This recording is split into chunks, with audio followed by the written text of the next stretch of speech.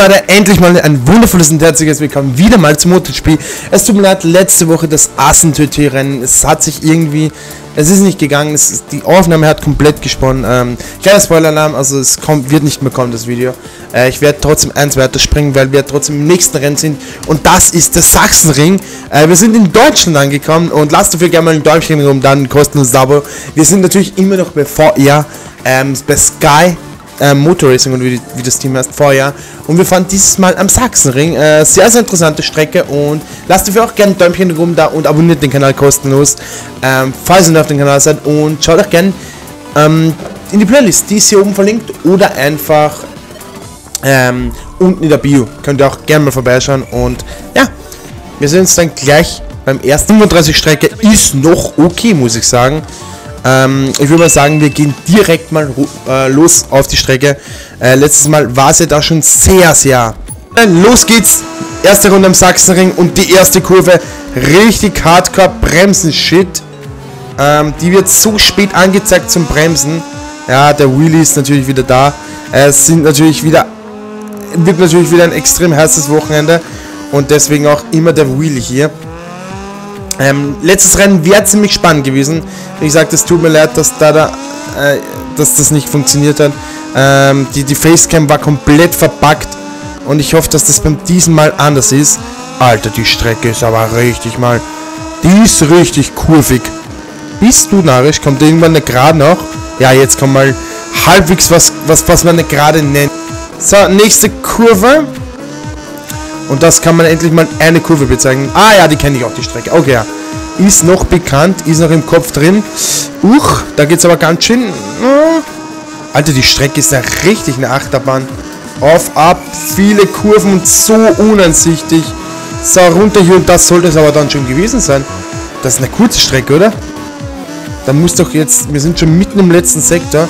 Das heißt, wir kommen dann nie über, über zwei Minuten. Also, das wird ein längeres Rennen, glaube ich. Äh, ich bin mal gespannt. Ah, ist schon die letzte Kurve, ja, stimmt. Ja, um die 1,30 werden wir fahren. Oder? Wird es überhaupt eine 30? Nein, 1,27. Ja, das ist mal eine, eine, schöne Zeit. Wir beenden das Ganze mal. Ich hoffe, wir schaffen es überhaupt ins Q2. Ähm, schaffen wir es? Ja, schaffen wir. Okay, wir schaffen es ins Q2 und da sehen wir uns jetzt gleich wieder. Ähm, und ja, ich bin natürlich wirklich megamäßig erfreut, dass ihr hier seid. Und später noch kommt noch ein Livestream. Also der erste Livestream auf diesem Channel Schaltet dazu auch gerne mal ein, würde uns wirklich freuen, wenn ihr uns da wirklich supporten würdet. Zwei Grad weniger wie gestern ist auch mal schön, wenn es kühler wird. Und ja, wie gesagt, es wird viel gezockt. Wir zocken unter anderem wahrscheinlich, wahrscheinlich, wir sind uns noch nicht ganz sicher, Formel 1 sollte dabei sein. Ähm, Rainbow und natürlich auch äh, FIFA. Also, so, aber äh, lang, uh, rum, rumgeschnoddert hier. Jetzt geht's in den zweiten Versuch oder in den Q2 beim ersten Versuch und auch beim einzigen. Also 8, 98 hinten. Ah, 86, okay. Wir werden auf jeden Fall hinten hart nehmen. Was wir vorne nehmen, bin ich mir noch nicht ganz sicher, weil. Und es geht auf Start und Ziel. Ich hoffe, wir können uns hier die Pole holen, weil Deutschland ist auch eine richtig coole Strecke. Ähm, aber jetzt geht's mal los. Die erste Kurve ein bisschen früher bremsen als hier die Bremslinie angezeigt ist, weil die ist hier richtig. Ja, sag mal, ich bremse die ganze Zeit, seitdem der Strich, eigentlich schon vor dem Strich und bin trotzdem zu weit rausgekommen. Also die, der Strich hier hat absolut keine Hand und keinen Fuß. Zack und zack, ja, das, das wird hart kommen. Wenn, wenn da die Reifen mal im Marsch sind, dann wird es hier dieser Wechsel von links Kurve, Schrott da vor uns und endlich mal die ersten paar Kurven, also die ersten sieben Kurven, bis eingeschlossen dieser hier, heißt es wirklich nur Zähne zusammenbeißen und ähm, keinen Fehler machen. Weil jetzt geht es dann endlich mal mit der ersten Geraden los. Nach Kurve 8 oder nach Kurve 7 ist man kurz verschnauft. Und hier nach Kurve 8 kann man endlich mal einen Ticken verschnaufen. Ah ja, aber jetzt dann kommt diese links, dann kommt diese unansichtige Rechtskurve.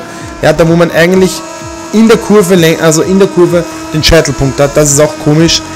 Und ja, das ist es eigentlich auch schon hier mit der schnell mit der Runde. Da ist schon ganz schön schnell hier. Zack, auf der Geraden kommen wir Schrott ein bisschen näher. Und zack, die letzte Kurve ist das hier wieder. Und rauf den Berg. Bisschen Windschatten von Schrotter können und 1,26. Beenden wir mal die Session, aber ich glaube, ich glaube, das wird eher, das wird eng. Doch, das ist wirklich eng geworden.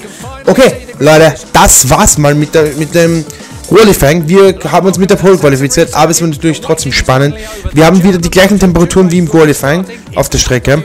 Und das lässt nicht viel Spielraum für eine andere Strategie als, okay, er fährt soft, soft.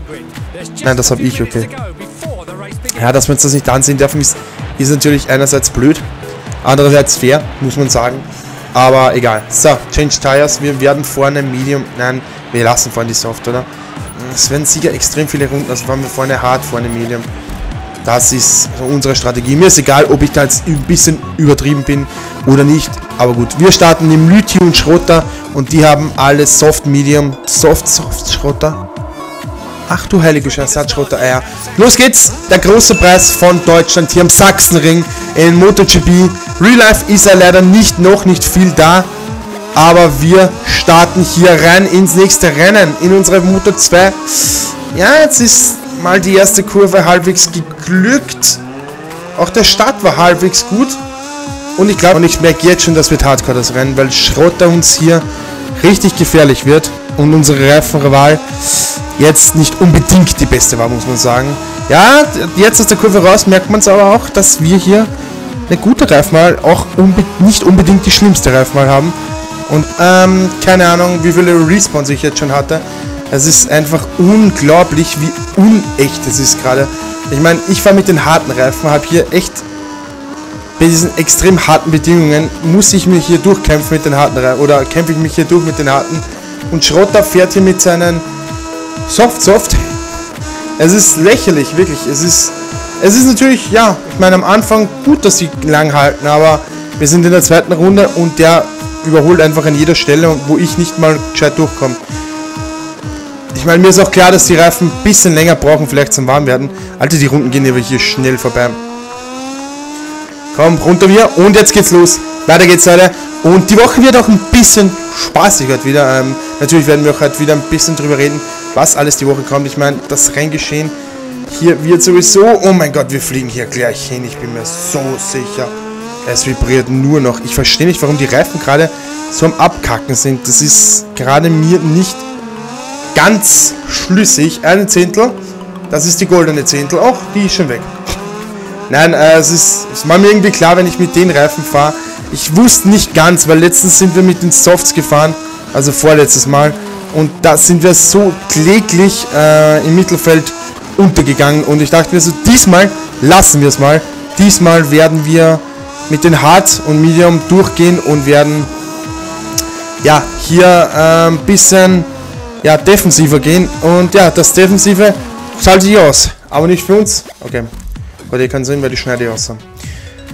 Ja, ich dachte mir, ein bisschen defensiver gehen, aber das Defensive zahlt sich anscheinend nur für Schrott aus, weil der fährt hier mit seiner Dreistigkeit noch locker und leicht auf. Boah, cool. Bis deppert, Zeitlupe. Der fährt hier mit seiner Dreistigkeit. Alter, überall vor überprobierst du überholen, zum Überholen.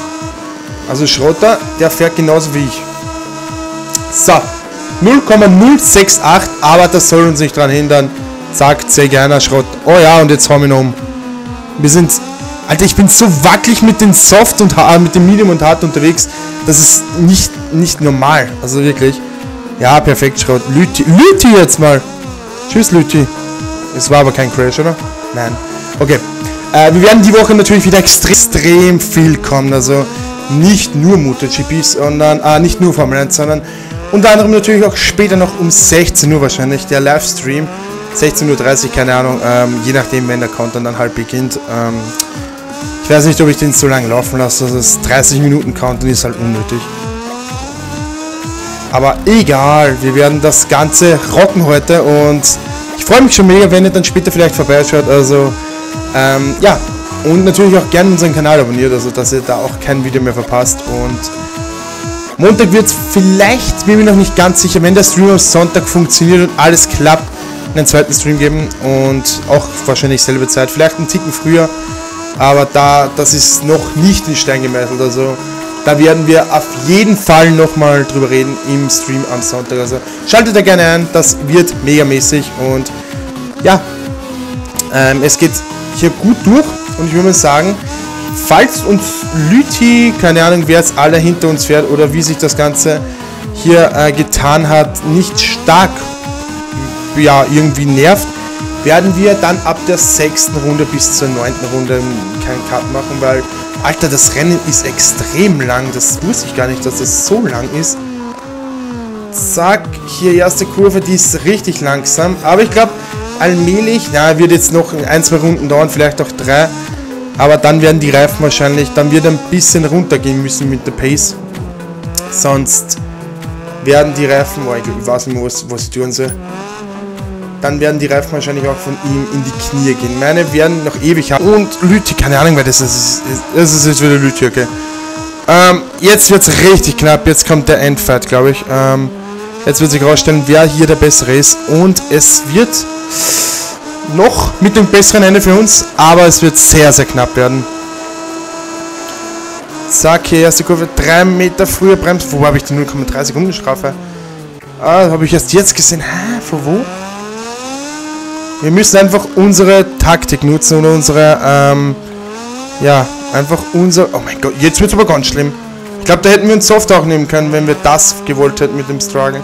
Medium hinten, glaube ich, hätten gereicht und Soft vorne, aber das wissen wir erst, ja, oder, ja, besser gesagt jetzt erst. Das ist halt schade, aber es ist blöd gelaufen. Ich glaube, die Strafe wird uns heute noch richtig, richtig das Genick brechen.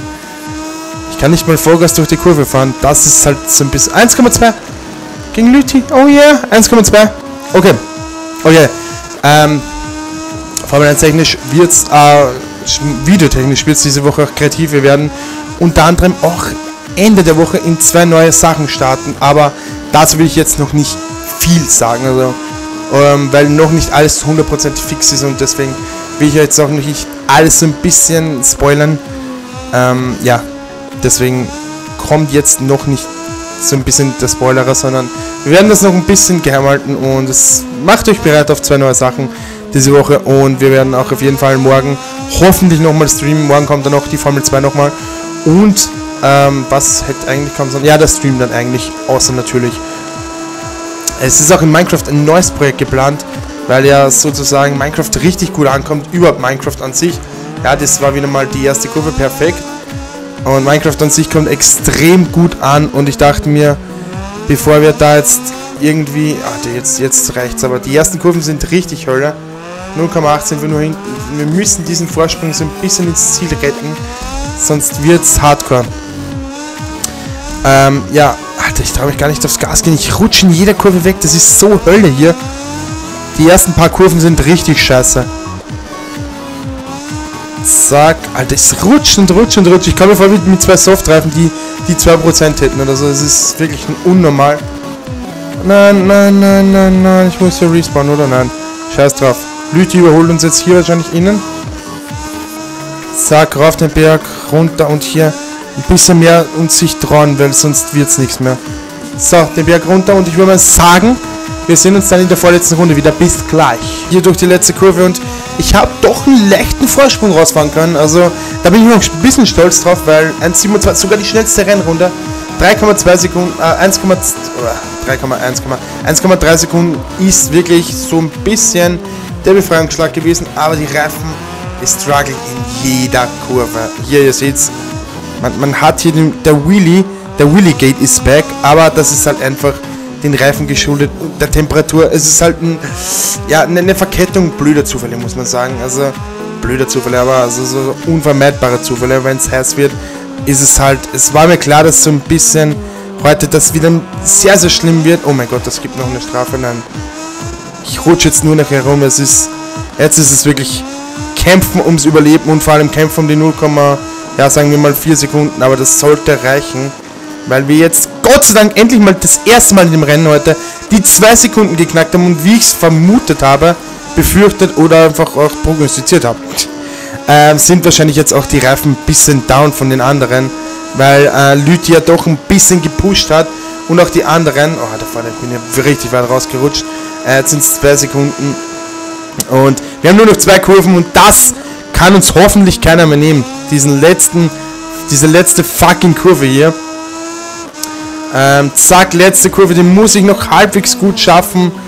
Und dann ist es wirklich soweit. Wir gewinnen mit unterlegendstem Auto und unterlegendstem Strategie.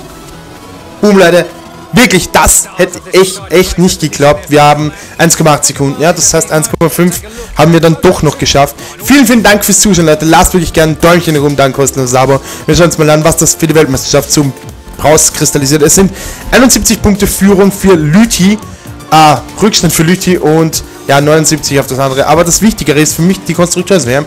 Und da machen wir einen fetten Sprung nach vorne. Aber der werden immer noch 150 Punkte auf unser Ex. Auch wenn ich dieses Video wahrscheinlich öfters geraged bin, als ich äh, am Jubeln war, können wir trotzdem jetzt zum Schluss mal jubeln. Wir gewinnen den großen Preis hier und das wirklich mit so einer beschissenen Strategie. Also ich werde nie wieder, nie wieder, nie wieder ähm, Medienmotat fahren. Das war richtig beschissen. Wir werden das nächste Mal wahrscheinlich wieder auf etwas riskantere Strategie gehen und wir, zum Schluss ist dann sowieso auch wieder das Struggle und das Struggle. Also das ist nicht so schlimm. 7300 Punkte und ja, das ist wunderbar. Und das nächste Mal geht es nach Tschechien, in, nach Prag, um genau zu sein, glaube ich oder? In Brno, sorry. Brno, eine, eine meiner Lieblingsstrecken, muss ich sagen. Und wir werden nochmal ein kurzes Blick, einen kurzen Blick auf das Leaderboard werfen. Lüthi und Schrott, also die Teamkollegen sind hintereinander und das wird richtig schwer, die beiden hier mal ähm, aufzuholen. Weil da schaut es auch in der, in der Championship, sind die wahrscheinlich zwei, denke ich mir, drei Punkte nur hinten. Und die kämpfen da jedes Mal gegen Flexbox HP.